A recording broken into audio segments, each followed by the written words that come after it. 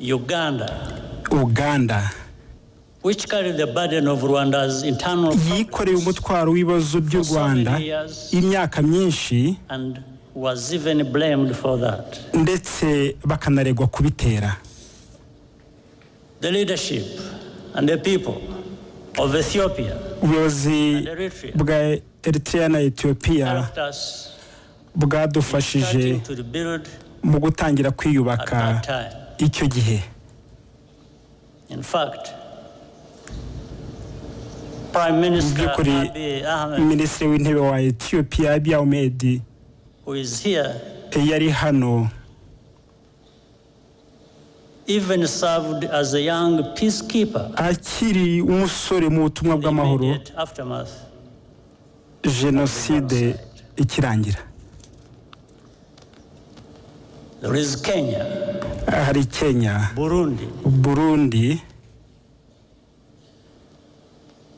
The Democratic Republic of Congo. Na repubulika iharanira demokarasi ya kongo hosted large members bacumbikiye impunzi z'abanyarwanda benshi. of Rwandan refugees and gave them a home. babaha aho bitaga iwabo. Tanzania. Tanzania na yo and also played a unique role yarabikoze bongeraho n'umwihariko mu bihe by'ingenzi harimo no kwakira imishyikirano y'amahoro ya rusha and here ahangaha I must single out ndagira ngo mvuge by'umwihariko nyakwigendera perezida julius nyerere nk'uwubatse uwo musingi. The Republic of Congo repubulika ya kongo has been a productive partner yatubaye hafi mu kongera kubaka igihugu n'ibindi. Many of the countries represented here today also sent ntitwakwibagirwa n'ibindi bihugu bihagarariwe hano. to serve batanze abana babo mu butumwa bwo kubungabunga amahoro mu rwanda. Abo basirikare ntabwo batereranye u rwanda. It was the international community ni umuryango mpuzamahanga wadutereranye. Yaba ari ukubera ubugwari cyangwa agasuzuguro. Among those here with us today, mu bari aha uyu munsi ndashimira madamu of the late captain umukobwa wa kapiteni mbaye Senegal wo muri senegali who died a hero waguye nk'intwari akiza abanyarwanda from death. At the United Nations Security Council in 1994, mu kanama k'umuryango k'umutekano k'umuryango w'abibumbye mu gihumbi kimwe magana cyenda na kane abahagarariye Nigeria, nigeria the Czech Republic, repubulika ya ceke ndetse no hirya kure. Nka new zealand bahagaze ku kuri. abari bahagarariye ibyo bihugu bagize ubutwari bwo kwita jenoside icyo ari cyo. And resist political pressure banga igitutu cya politiki from more powerful countries to hide cyo guhisha ukuri ibihugu bikomeye byabashyiragaho. Ambassador Ibrahim Gambari ambasaderi I- ibrahim gambari wa nigeria. and Czech Ambassador Karol Kovenda, na ambasaderi karoko vanda wa repubulika ya you. bari hano bari hano uyu munsi hamwe natwe turabashimira cyane Even in countries where government policy was no mu bihugu aho politiki ya leta yari ku ruhande ruhabanye n'amateka both during the genocide and even after. muri jenoside ndetse na nyuma yayo There were always individuals who hari abantu bahagaze ku kuri for their honesty and humanity. no ku bumuntu we shall always be grateful. tuzabashimira iteka ryose We also appreciate the turashimira kandi ubufatanye we have received from bufatika twahawe n'abafatanyabikorwa mu myaka mirongo 30 years itatu ishize in Europe, mu burayi the United States, amerika aziya and many international n'imiryango myinshi mpuzamahanga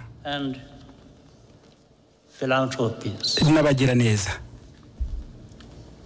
A notable example of solidarity came to us urugero rw'ubufatanye rugaragara rwavuye muri afurika y'epfo. Rumwe muri nyinshi. Indeed, the entire arc, ndetse wavuga ko entire arc of our continent's hopes icyizere n'akababaro in those few months of 19 by'umugabane wacu byagaragaraga muri ayo mezi make yo mu gihumbi kimwe icyenda na kane ubwo afurika y'epfo yahagarikaga ivangura bwoko na nelson mandela. Gatorwa nka perezida. Mu rwanda harimo gukorwa jenoside ya nyuma y'ikinyejana cya makumyabiri. Afurika y'epfo nshya yishyuriye abaganga bo muri kiba baje kudufasha kubaka inzego z'ubuzima zari zarasenyutse. Inafungura imiryango ya kaminuza zabo. abanyeshuri b'abanyarwanda biga batanga amafaranga nk'abenegihugu mu magana y'abanyeshuri bagize amahirwe yo kwigira ku buntu bwa afurika y'epfo. bamwe bari imfubyi barokotse jenoside. Abandi bari abana b'abayikoze. Ndetse n'abatakiri n'abatari kimwe muri ibyo. benshi muri bo n'abayobozi mu nzego zitandukanye mu gihugu cyacu.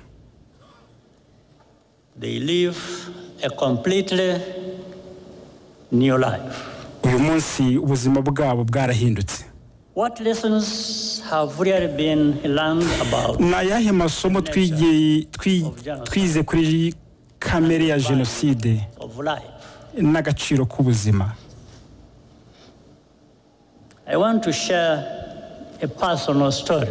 Ndagira ngo mbabwire inkuru.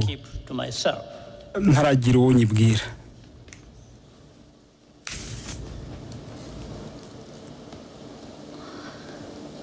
My cousin,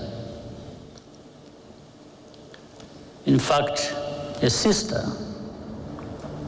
Florence, mushiki wanjye wo kwa data wacu florence. Worked for the United Nations Development Program in Rwanda for more than 15 years. yamaze imyaka irenga cumi n'itanu akorera UNDP After the genocide started, jenoside imaze gutangira yaheze mu nzu ye Kigali. hafi y'ikigo cya gisirikare cya kankigali.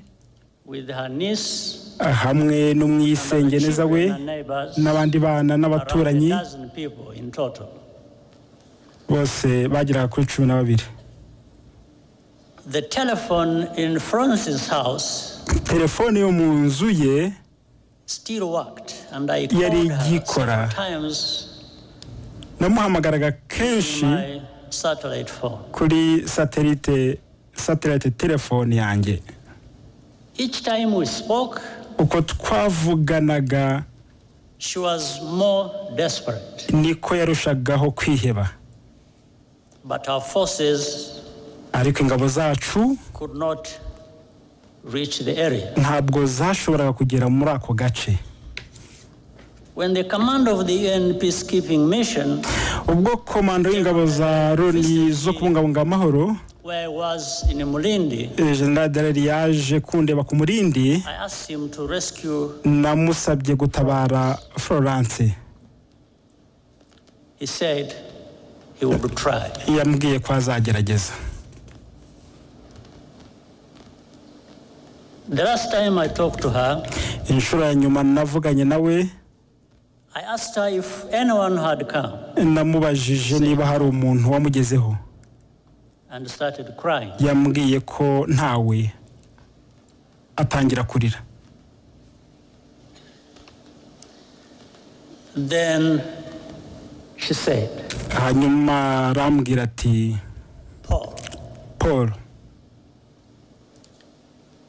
you should stop trying to save us. reka gukomeza gushaka kudukiza.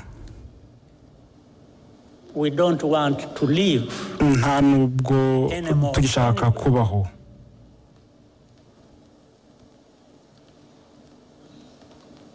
I quickly understood what she was saying, nahise numva ibyo ashaka kuvuga. And she hung up.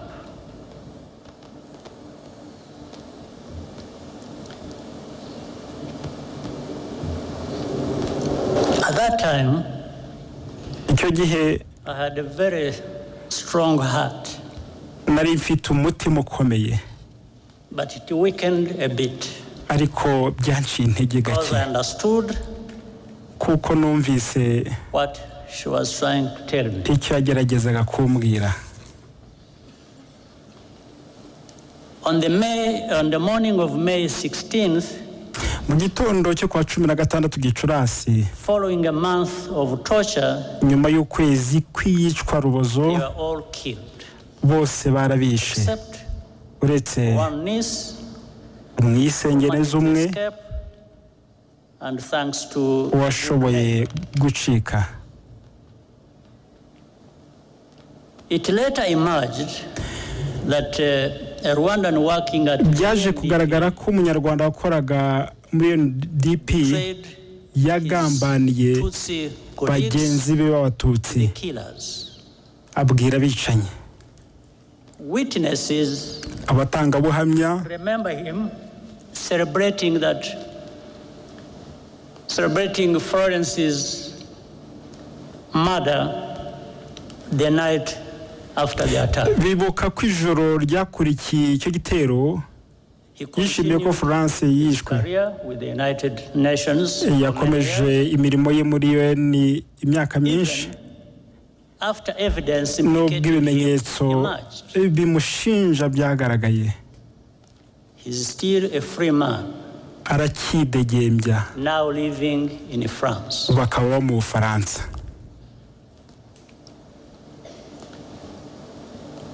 I asked General Darer what happened. nabajije general dareri ko byagenze.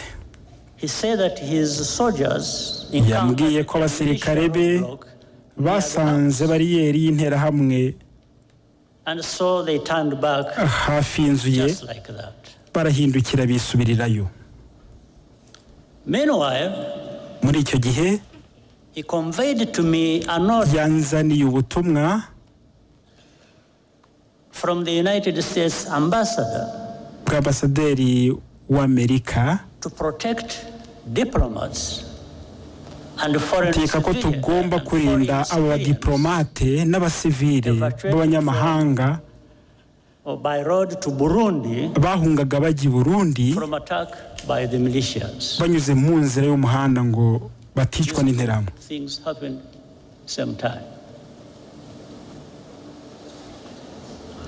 Things happened same time. I do not need to be instructed to do something that ntabwo byari ngombwa kumbwiriza gukora ikigomba gukorwa n'ubundi That's what I was going to do.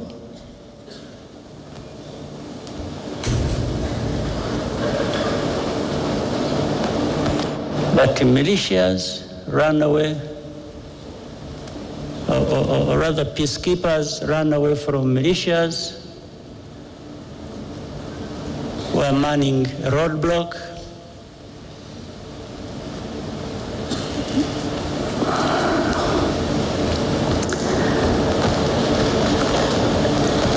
Um, I do not blame General. Na- na- ntabwo narenganya general darere ni umuntu mwiza did the best that could be done. wakoze ibyo yashoboraga gukora imaginable. mu bihe bibi cyane ariko muri iryo tandukaniro ry'izo ngero zombi the personal cost. Nevertheless, nabonye agaciro guhabwa ubuzima bw'abantu batandukanye the two cases, I took note of the value that is attached to different shades of life. In 1994, mu gihumbi cyenda mirongo icyenda na kane all Tutsi were supposed to be completely exterminated. abatutsi bose bagombaga kwicwa and for all. bagatsembwa Because bakarangira the killings that had forced me and hundreds of thousands of others into exile three decades before had not been sufficiently thorough. kuko ngo ubwicanyi bwabaye imyaka mirongo itatu mbere ya jenoside bwatumye inge n'amagana y'ibihumbi by'abandi babies tuba were impunzi systematically murdered butakoze uko byari bikwiye niyo mpamvu so they would not grow up to become fighters. n'impinja zishwe ngo batazakura bakaba ingabo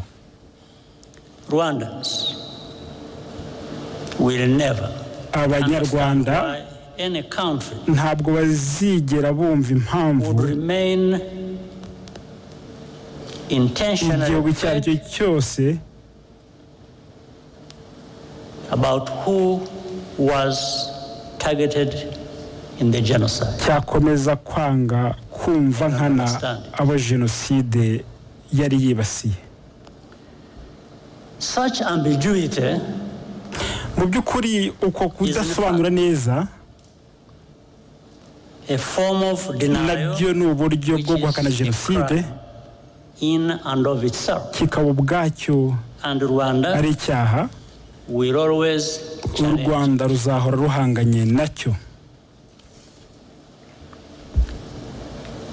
When the genocidal forces fled to Zaire, now bw'ingabo z'abajenosideri zihungiye muri zayire 1994, witwa repubulika ya demokarasi ya kongo muri nyakanga igihumbi cyenda mirongo icyenda na kane bafashijwe n'amahanga yarabashyigikiye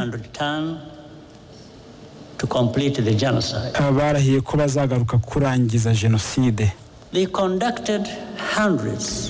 Bagabye ibitero by'iterabwoba mu rwanda over the next five years, Mu myaka itanu yakurikiye. bibasira abarokotse jenoside n'abandi banyarwanda had refused to go into exile, banze guhungana nabo. bitwara ubuzima bw'ibihumbi by'abantu. The remnants of those forces are still bamwe muri abo barwanya ibiterabwoba baracyari mu burasirazuba bwa kongo enjoy state support aho bashyigikiwe na leta in full view of the United Nations. ingabo za loni zo kurinda amahoro zibireba. Intego zabo ntabwo zahindutse. And the only reason this group kandi impamvu aka gatsiko today known as FDLR ubu kitwa fdr has not been disbanded. kataraseswa. Is because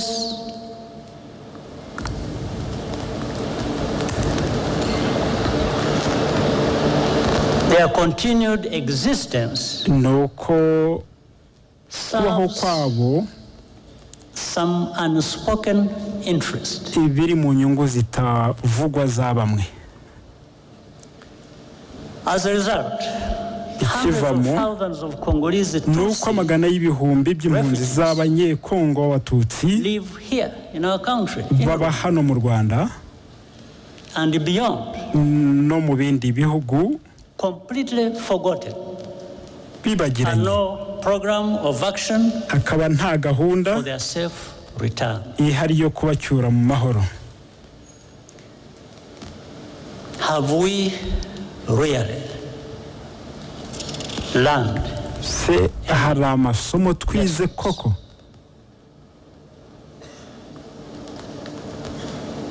We see too many actors, tubona abantu benshi. even some from Africa, ndetse n'abo muri afurika getting directly involved as babyinjiramo mu gihe politiki y'amoko ishyirwa imbere. Itsemba ry'amoko ritegurwa rikanashyirwa mu bikorwa. What has happened to us? ni iki cyatubayeho? Is this the Africa we want to live in? iyi niyo afurika dushaka kubamo? Iyi niyo si twifuza? Rwanda's tragedy is a warning. icyo tuvuga The tubaburira process of division and extremism ni uko inzira y'ubutagondwa n'amacakubiri iganisha kuri can jenoside happen anywhere. ishobora kuba aho ariho hose. niba ibyo tubabwira bidaha agaciro mu mateka abarokotse amarorerwa n'ubwicanyi bikabije bahora batezweho guceceka or else be erased and even blamed gucunga ibyo bavuga for their own misfortune. bitabaye ibyo bagasibanganywa ndetse bakaregwa kwikururira ibyago bibabaho. ubuhamya bwabo ni ikimenyetso cy'ubufatanyacyaha. and it unsettles the fictions kandi bunyomoza ibyo bahimba bibwira ko bituma umutimanama w'abatuma bibaho n'abarebera utekanye. Uko abanyarwanda and bafata inshingano zo kurinda umutekano n'agaciro byabo the more intensely niko kurwanya ukuri about the kwa jenoside no kuyihakana na byo byiyongera. Over time, uko igihe gihita mu bitangazamakuru bifitwe n'abakomeye muri iyi si?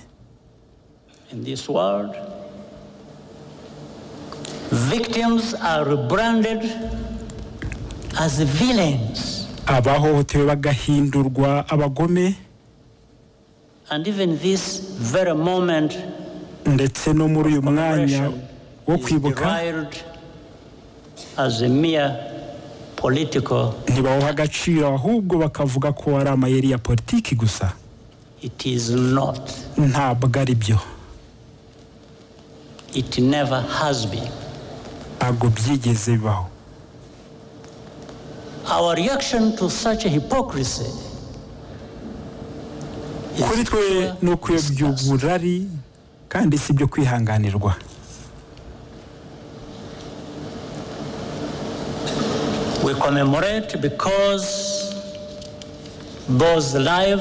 twibuka kuko ubuzima bw'abavukijwe bufite agaciro kandi koko ejo hazaza hafite agaciro kurushaho. Abanyarwanda ntabwo bashobora kutita ku mpamvu nyamukuru zateye jenoside. We will always pay maximum attention, tuzahora tubyitaho cyane. Nubwo twaba turi twenyine.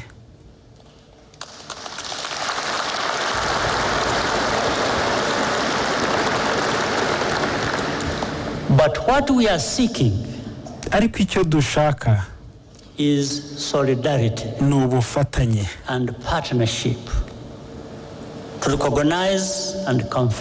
no kumenya no guhangana n'ibibazo hamwe as a global community. nk'umuryango mpuzamahanga I'll tell you another story.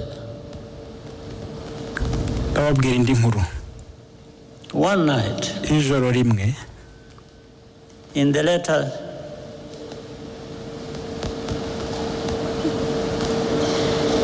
days of the genocide, mu minsi ya nyuma ya jenoside I received a surprise visit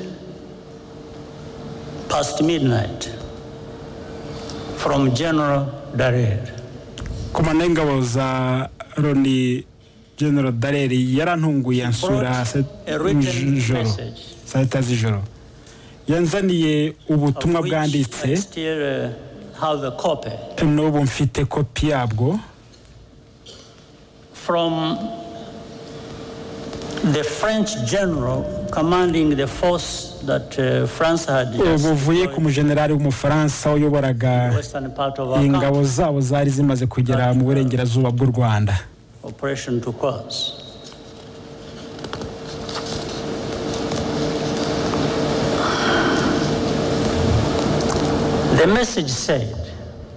Ubutumwa bwavugaga ko that we would pay a heavy price. Tuzatanga igiciro kinini ingabo zacu. If our forces dared to try to capture the town nizigerageza gufata umujyi wa butare mu majyepfo. So, and General Darrell gave me additional advice. Said, general yamugenda warned- inama he said that uh, the French had attacked yambwiye ko abafaransa bafite za kajugujugu z'intambara.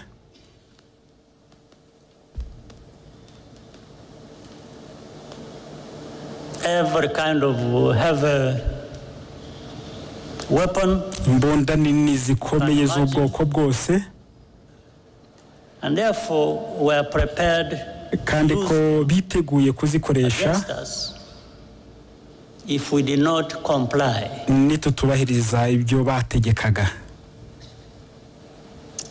I asked Darrell, I asked him whether nabaje dareri French ni soldiers b'abasirikare b'abafaransa bava amaraso nkatwe.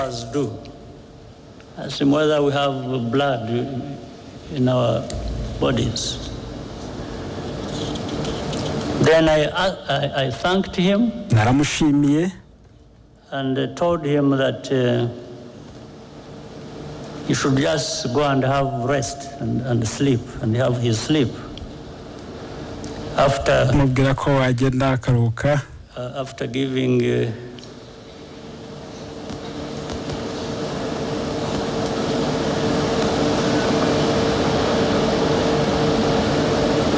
after informing the French that our response akabwira abafaransa ko igisubizo cyacu kizakurikira And it did.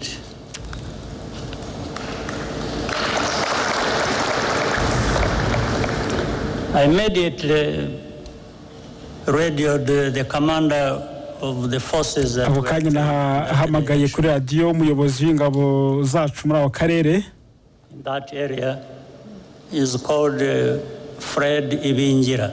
Fred bingira And, and told him to get ready mubwira ko yitegura gutera and move to fight. We took Butare, which we were being warned not to enter. Uh, we took that town at dawn. Mm, twafashe umujyi butare mu museke Within weeks, the entire country had been, ibyumweru bike igihugu cyose cyari cyafashwe and we began rebuilding. akazi ko kucyubaka We karatangira did not have the kind of arms that were being used to threaten us. aha twari dufite izo ntwaro zakoreshwaga zi- mu kudutera This is ubwoba our land. This is our country. Uh, those who bleed will bleed over it.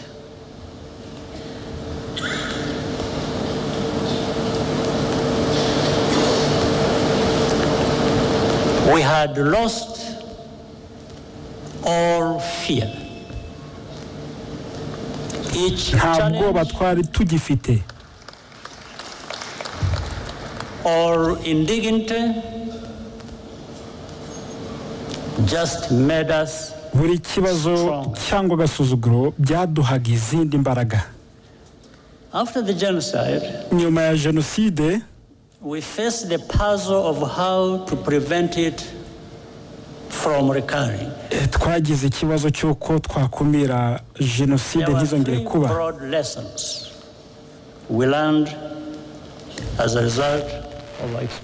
hari amasomo atatu twize bivuye mu byo twanyuzemo.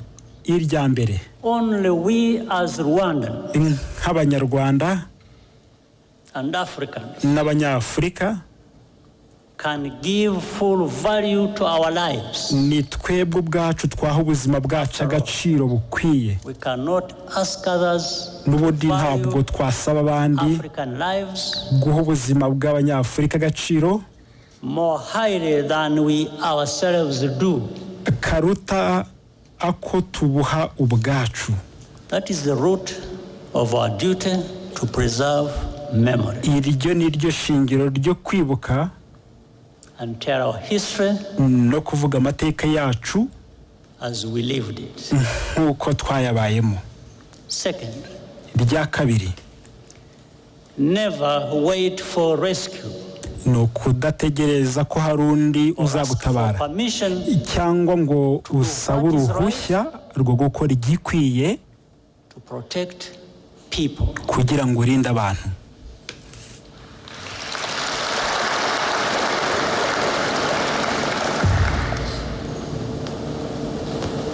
that's why some people must be joking. When uh, they threaten us with all kinds of things and they don't know what they're talking about.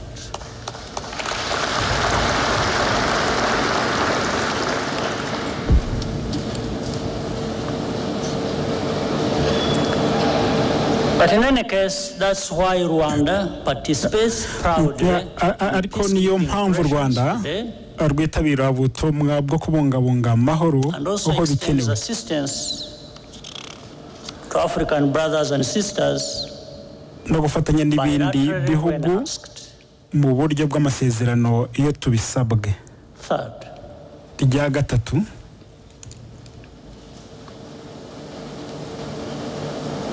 stand firm against the politics of ethnic populism. Shikama urwanye politiki ishingiye ku moko uko yaba iteye kose. Genocide is populism in its purified form. Jenoside ni ugushaka gushimisha ubwoko bumwe wangisha ubundi. kubera ko ibiyitera ari politiki must be as well. N'ibisubizo na byo bigomba kuba for that reason politiki. our politics kubera iyo mpamvu politiki yacu is not organized on the basis of ethnicity or religion. ntabwo ishingiye ku bwoko cyangwa and idini it never will be again. kandi ntabwo izongera kubishingiraho. The life of my generation has been ubuzima bw'abo mu gihe cyanjye cycle as- of genocidal violence. habayemo isubiramwo ry'ubwicanyi bwa jenoside buri myaka mirongo itatu uhereye igihumbi cyenda mirongo itandatu 1994 mu gihumbi cyenda mirongo icyenda na kane to the signs we see kugeza ku bimenyetso tubona muri aka karere ubu ngubu muri bibiri na makumyabiri na kane. Only a new generation of young people urubyiruko nibo bonyine bafite ubushobozi bwo kugarurira igihugu ubuyanja no kugikiza nyuma ya jenoside umurimo wacu ni ukubaha umwanya n'ibikoresho kugira ngo bacire iryo garuka ry'ubwicanyi. kandi barabikoze. What gives us hope and confidence ikiduha icyizere are the children ni aba bana we saw in the performance area twabonye mu kanya bakina cyangwa urubyiruko rwashyizeho urugendo rwo kwibuka that will occur later today. ruri bube mu masaha ari imbere hafi bitatu bya kane 35. by'abanyarwanda bari hasi y'imyaka mirongo itatu n'itanu y'amavuko They either have no memory of the genocide ntabwo bibuka jenoside or were not yet born. cyangwa ntabwo bari bakavutse Our youth are the guardians of our future. urubyiruko rwacu nibo barinzi b'ejo ha- hacu and the foundation of our unity n'umusingi w'ubumwe bwacu with a mindset that is totally different bafite imyumvire itandukanye. N'ibisekuru byababanjirije. Today, uyu munsi it is all Rwandans who have conquered fear. ni abanyarwanda bose batsinze ubwoba. Nothing can be worse than what we have already nta cyaba kibi kuruta ibyo twanyuzemo This is a nation iki ni igihugu 14 million people cy'abantu miliyoni cumi n'enye biteguye guhangana n'icyo ari cyo cyose cyashaka kudusubiza inyuma.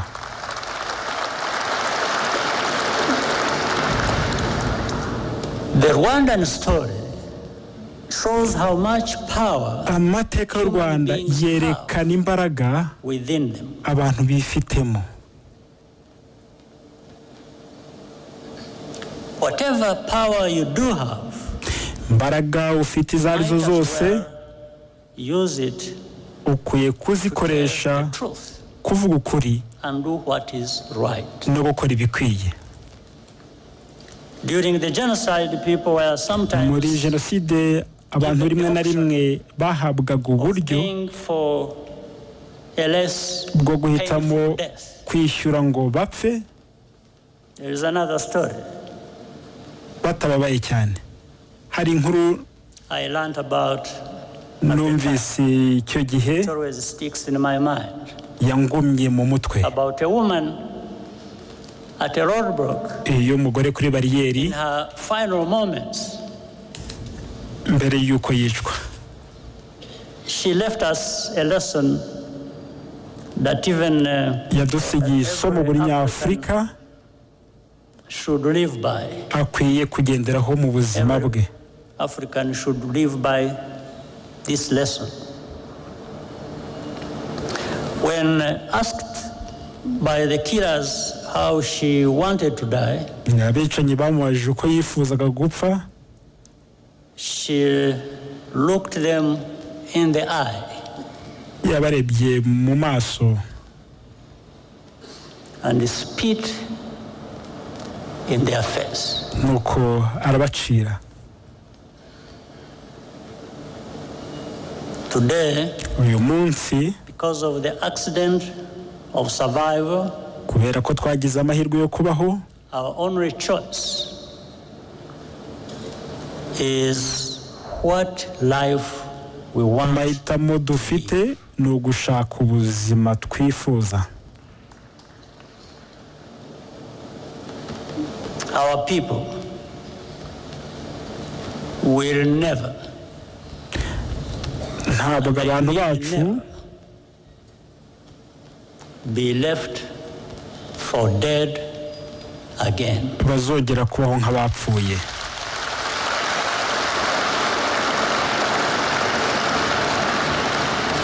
I thank you. murakoze